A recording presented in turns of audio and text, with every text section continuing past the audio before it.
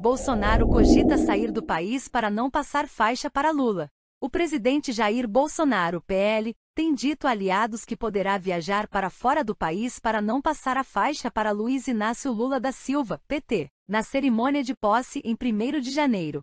O atual mandatário vê na saída do território a solução para deixar para seu vice, Hamilton Mourão, a tarefa de participar da solenidade como presidente interino. Mourão foi eleito para o Senado pelo Rio Grande do Sul, vaga que assume em fevereiro. O motivo para a atitude de Bolsonaro é a revolta com o que encara como desigualdade de condições de disputa entre ele e Lula, especialmente devido a decisões da Justiça Eleitoral. Mourão disse a jornalistas na terça-feira primeiro que tem quase certeza de que o presidente vai passar a faixa para o petista. Durante a campanha, Lula disse que Bolsonaro entregaria a faixa para ele, ele pode gastar o que ele quiser, está dado.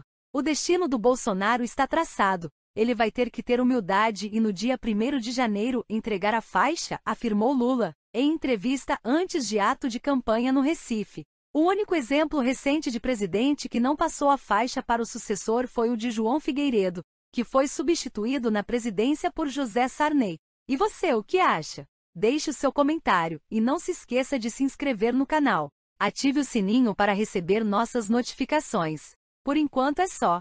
Muito obrigado a todos. Um abraço do canal da Vovó Benta e até mais.